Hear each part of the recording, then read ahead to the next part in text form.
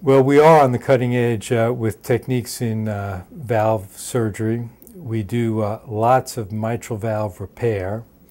Uh, mitral valve repair is better than doing replacement for uh, mitral valve disease because the patient gets to keep their own uh, valve. The tissue is live. The flow dynamics through the valve, which is really a system of, um, of plumbing within the body, the flow dynamics are uh, superior than any prosthetic valves. Uh, and the flow is less disturbed as it goes through the valve. So for those reasons, it's, it's better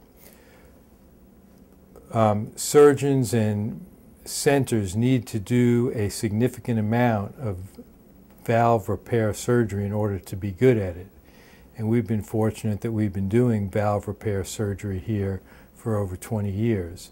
As a result of that, we've gotten very, very good at it, and we get referrals from a large uh, base.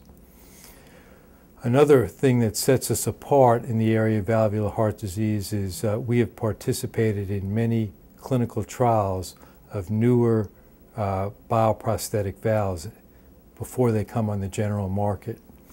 That gives our patients the advantage of being able to um, uh, benefit from the technology of a newer valve, uh, which they could not do if they were at another uh, center that uh, did not offer those kinds of clinical trials.